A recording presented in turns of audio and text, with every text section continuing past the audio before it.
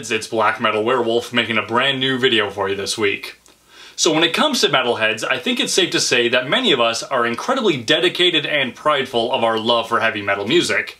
And rightfully so, everything about it is pretty awesome. But with that being said, I think it's about time we start acknowledging there are a few hard to swallow pills when it comes to heavy metal. And that's what I want to talk about today. So I'm sure many of you, like me, at some point in your lives have gotten into an argument with somebody else over what is the best type of music. And as metalheads, in an argument like that, we all have that one great trump card, which is at least metal bands all write their own music. I mean, and when it comes to pop music, rap music, country music, it's a well-known fact that these guys do not write their own songs. It's a very common thing in the music industry. But we as metalheads know 100% for a fact that all of our bands write their own songs. Except that they don't. Many metalheads need to acknowledge that many of our favorite bands that are signed to record labels do not 100% write all of their own songs. Like I said, this is a very common practice in the music industry. And do you honestly think that record labels are paying producers tens of thousands of dollars just to stand behind some glass and say, that wasn't good, do it again?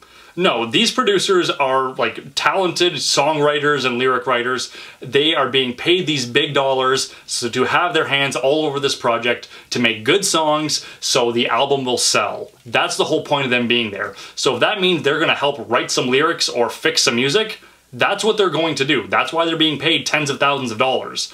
So uh, I guarantee you, if you were to go to your music collection and get any of the liner notes, chances are at least one of the songs was not written by that band. Or their producer had their hands in it one way or another, be it through writing the music, or performing some of the music, or helping writing some lyrics they 100% do not do it by themselves. Now, obviously, there are some underground bands that aren't signed to record labels that do do their all their own music because they literally have no choice. They don't have professional writers or producers to do it for them. So yeah, I can give it to them. They're purists. But once you get into the music industry, like we all know the music industry is inherently evil, but I mean, we all have to acknowledge that is a big part of it. Uh, just for example, Iron Maiden. Everyone knows Iron Maiden, huge band.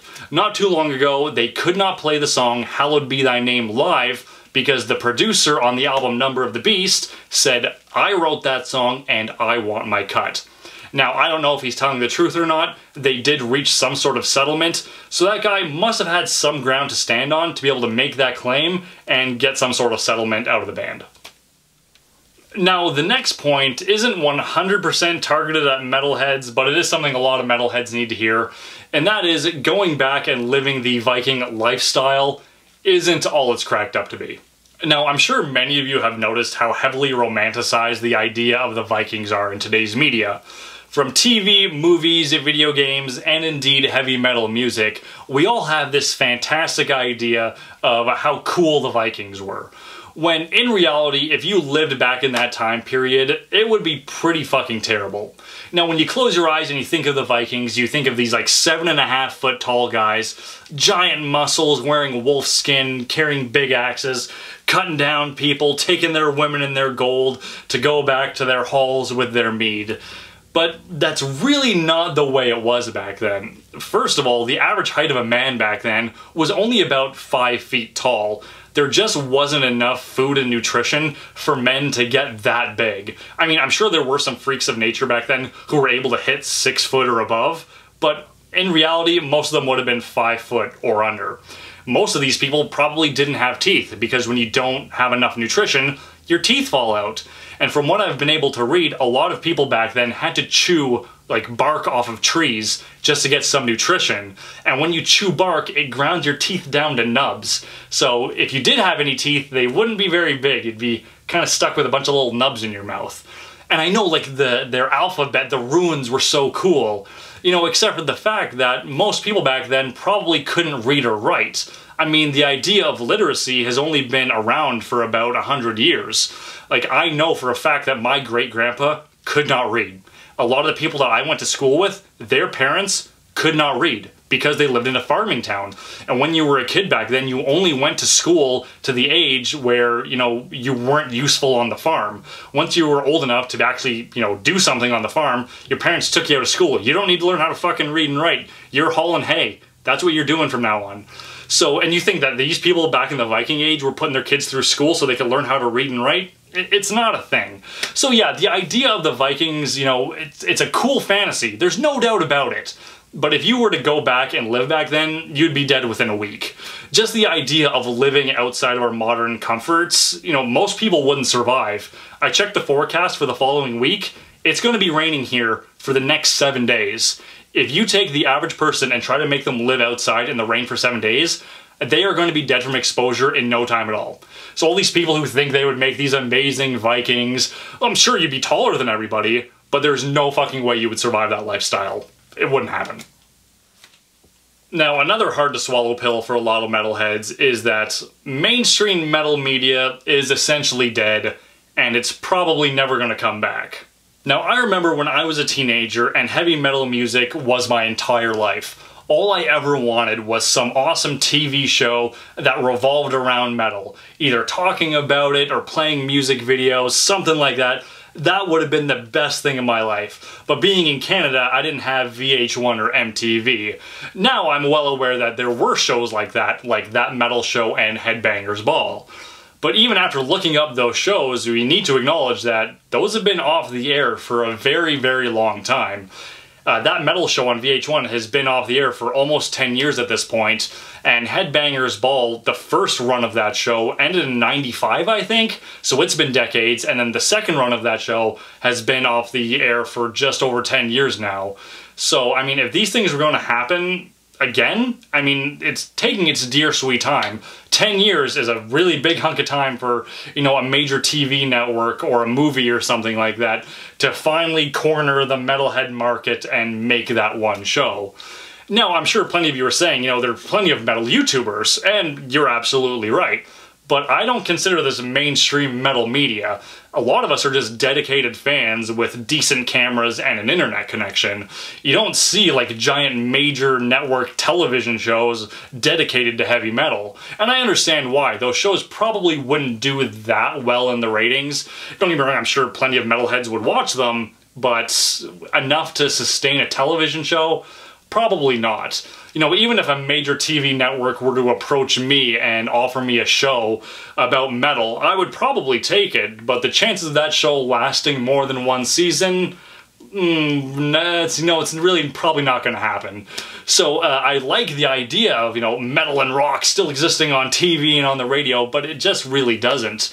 I remember a few years ago, I was in my car and I was flipping through the radio stations, and this one station had a Metal Monday section. I was like, oh, cool, this is awesome.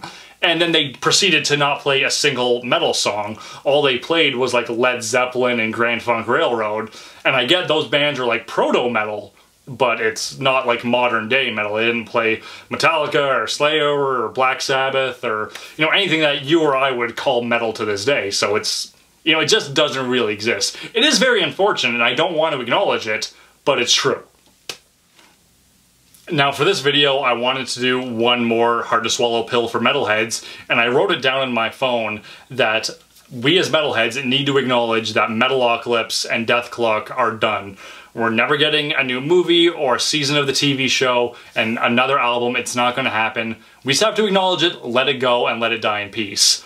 Except I am 100% wrong on that because about two weeks ago it was announced that Dethklok is going to be getting another movie, another album, and they're going on tour for that album. So not only am I wrong, I have never been more happy to be wrong because we're getting more Dethklok. Even though that is cutting this video a little short, we are finally getting more and I am so pumped for it. So those are just a few hard to swallow pills for metalheads, but now of course I want to get your guys' opinion on all of this. What do you think of the things I said in this video? Do you agree or do you disagree? Do you have a few of your own hard to swallow pills that a few metalheads need to hear? Please leave them down in the comments. I would love to know and I'm sure a lot of other metalheads would like to hear as well. And now, like my past videos, I either do an album recommendation or an album warning, and today is another recommendation. The band is Cradle of Filth, the album is Existence is Futile.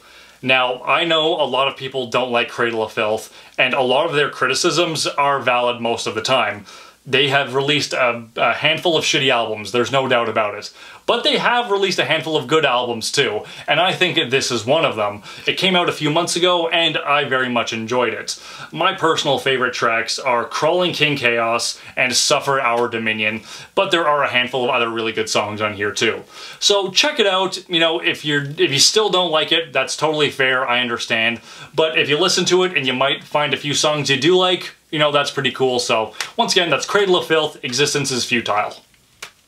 So that's it for today's video. If you like what you saw, don't forget to like and subscribe, leave me a comment letting me know what you thought of today's video, checking out a few of my past videos and sharing them with a few of your friends while you're at it.